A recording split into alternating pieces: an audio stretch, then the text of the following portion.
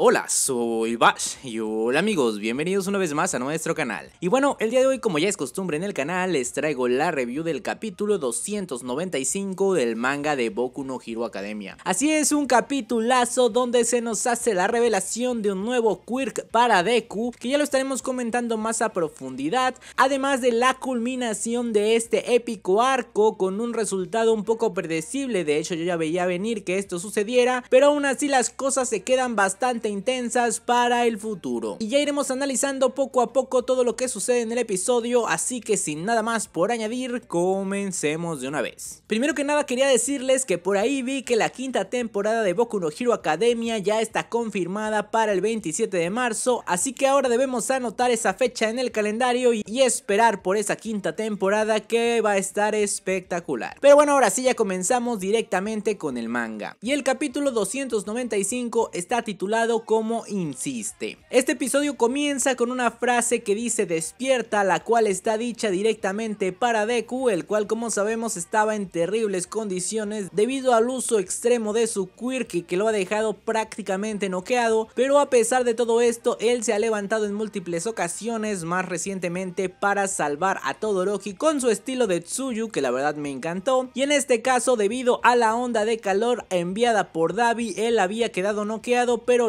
logra despertar una vez más en esta pelea. La verdad es que se nota el enorme daño de Deku, pero que a pesar de todo esto él sigue levantándose. A mi parecer Deku ha sido de los mejores combatientes. Obviamente al levantarse rápidamente se preocupa por Shoto, el cual era su objetivo salvar, pero se percata que él todavía se encuentra bien. Además de ahora sí pasar a lo más interesante del episodio donde rápidamente siente una especie de alerta en su cabeza y es ahí donde nos revela que eso es la detección de peligro. Así es, esto estaba en las notas de All Might y es el quirk del cuarto portador. Uno de los misterios que más estaba esperando que se revelara y voy a reconocer que no me esperé que fuera este quirk. En un principio yo creía que sería algo devastador y esta sería la razón por la que All Might lo estaba ocultando a Deku. Pero al parecer lo único que All Might quería ocultar a Deku era la identidad de este tipo y muy probablemente es porque tenga relación con algún villano, posiblemente con All for One o con Shigaraki. Algo que yo había comentado anteriormente cuando hablé de los spoilers es que me gustaría que este portador fuera el que hiciera comprender a Deku el punto de vista de Shigaraki y tomando en cuenta este episodio es muy posible que esto sea verdad. Ya lo iremos platicando más a profundidad a futuro. Otra cosa que quería hablar respecto a este quirk es que de principio se cumple la profecía de Bakugo, quien al leer los quirks del One for All dice que en su mayoría son normales o nada espectaculares. Era difícil de creerle a Bakugo porque normalmente es algo envidioso y se quiere creer superior a Deku por lo que no lo creía. Pero ya viendo el primer queer detección de peligro la verdad es que de principio no suena nada espectacular. Pero eso sí, debemos tomar en cuenta el potencial de este quirk y todo lo que le podría dar a Deku. Ya que de primera instancia hicimos la comparativa de detección de peligro con el sentido arácnido, que de hecho creo que tiene muchísimas similitudes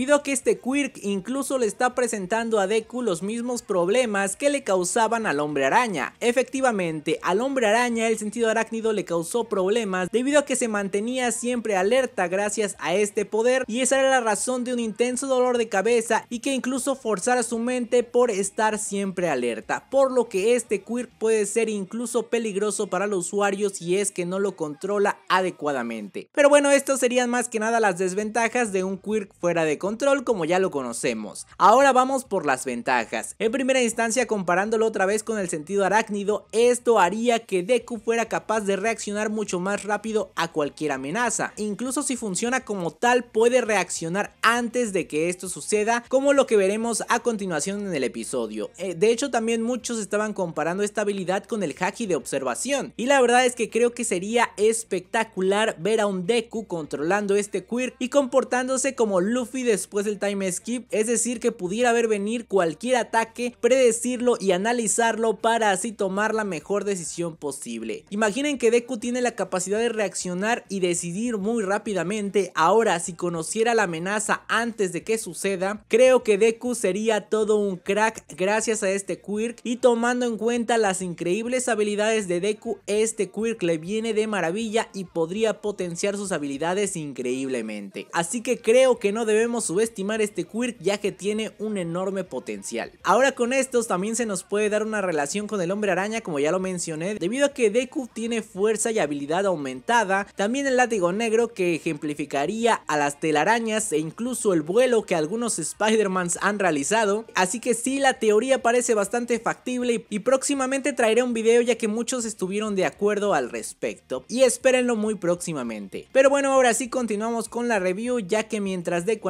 analizaba todo esto, vemos que Mirio no perdía la oportunidad de reaccionar ante el truco final de Mr. Compress ya que este se arroja completamente herido para tratar de detenerlo de alguna manera. Pero Mirio, sabiendo de sus capacidades y la eficiencia con la que domina su quirk, rápidamente responde a Mr. Compress dándole un golpe en la cara para así dejarlo noqueado y no perder ni un segundo para así atrapar a Shigaraki y Spinner lo más rápido posible. El mismo Mr. Compress se queja de la eficiencia que tiene Mirio debido a que no le ha dejado ganar mucho tiempo como él hubiera deseado pero tiene la esperanza de que si Shigaraki lograra despertar podría controlar a los Nomus y así volcar las cosas a su favor, por lo que su objetivo principal era ganar el máximo tiempo posible. Pero al parecer esto es todo lo que Mr. Compress podría hacer, ya que Mirio sigue adelante para enfrentar ahora sí directamente a Spinner, confiando en él debido a que él es el más fiel a Shigaraki, recordando esas extrañas manos que Shigaraki siempre traía puestas, ya que dice que de alguna manera a esas manos su corazón se calmaba, por lo que teniendo la esperanza de que Shigaraki reacciona le pone una de esas manos en su cara y efectivamente esto funciona para el despertar de Shigaraki y haciéndolo reaccionar muy rápidamente, pero vemos que el que está despertando no es Shigaraki, sino más bien es el mismísimo All for One quien ha tomado nuevamente el control de Shigaraki, reconociendo a este por haber obtenido tan buenos compañeros y deseando que el odio de Tomura siga aumentando cada vez más. Es en este momento donde All for One nos muestra su superioridad sobre Shigaraki, ya que se nos menciona que gracias a que este tomó el control, puede enviar códigos más precisos a los Nomus mediante su quirk de ondas de radio. Gracias a esto puede dirigirlos de la manera más eficiente posible y obviamente planear la retirada, cosa que aún no estoy seguro de que Shigaraki hubiera hecho de haber despertado el mismo. Vemos como Spinner rápidamente se preocupa por sus compañeros diciendo a Shigaraki que no huyan todavía debido a que hay compañeros en el suelo y los están abandonando refiriéndose más precisamente a Mr. Compress y a Giganto además de Toga quien en ese momento no se encontraba en el lugar. Pero obviamente en este momento no tienen tiempo que perder por lo que deciden emprender la retirada solo con los que tienen. Además de que All for One deja una última amenaza diciendo que se arrepentirán de haber derrotado a Shigaraki. De hecho nuevamente vemos a All for One protegiendo a su discípulo o a su recipiente. La verdad es que ya no estoy tan seguro. También se nos comenta cómo al parecer Davi logró escapar ante todo esto. Mientras que los héroes intentan reaccionar, pero la verdad es que ninguno tiene la opción de hacer algo, solo Mirio es el que se encuentra en mejor forma. Pero sorprendentemente el único que reacciona es Deku, que gracias a su látigo negro logra aferrarse al mismísimo Shigaraki. Pero Shigaraki rápidamente destruye el látigo negro para dejar a Deku completamente derrotado. Y como mencioné, lo más probable es que Deku logró reaccionar antes que nadie debido a lo que ya habíamos comentado, su nuevo quirk de la detección de peligro, el cual le avisó que esto ocurriría antes de que pasara, siendo un quirk prometedor. Y es aquí donde Deku nos revela una de las cosas más impactantes del episodio y podría marcar el futuro de Boku no Hero Academia, ya que Deku dice que él mató a muchas personas y lastimó a todo el mundo, por lo que no debería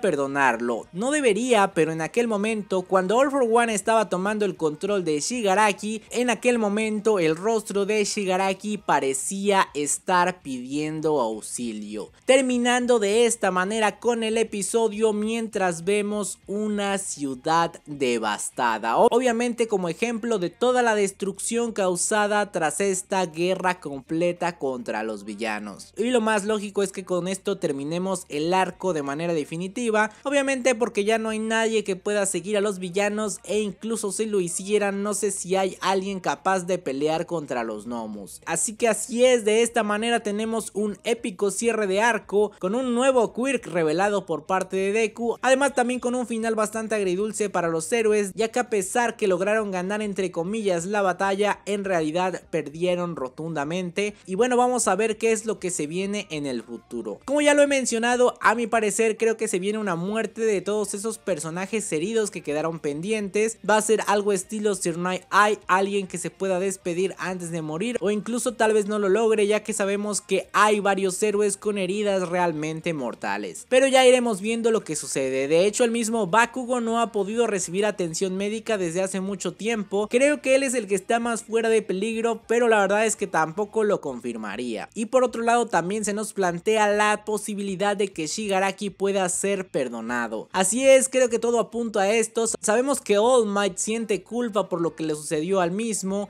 igual Deku en este momento intenta comprender a Shigaraki, además de mi teoría sobre el cuarto portador y su relación con el mismo, lo cual le podría ayudar a salvar a Shigaraki, ya que como lo dirían es lo que un héroe hace, dejando nuevamente como villano definitivo a All for One y la verdad es que cuando dominó de tal manera los quirks a mí me llamó muchísimo más la atención que él siga siendo el villano principal de Boku no Hero Academia, ya que creo que Shigaraki hasta el momento no está listo y no ha logrado liberarse de la sombra de All for One. Pero bueno, de esta manera termina el episodio, la verdad es que me encantó bastante. Espero que a ustedes también les haya gustado, no olviden dejarme todas sus opiniones en los comentarios que los estaré leyendo, además de dejar su like si les gustó el video y suscribirse si no lo están. Y ahora sí, antes de despedirme, quiero agradecer a todos los miembros del canal que siempre nos están apoyando. Y muchas gracias a Josué Durán B, Pedro E. Trujillo, Jaime Reyes, Calelicios Dinerillo, Emerson Ventura, Alberto Cabrera, Lestat Almora, Leo Cornejo, Andrea Fuentes, Bárbara Aninao, Paulex29 y Morningstar. Y ahora sí, sin nada más por añadir, adiós.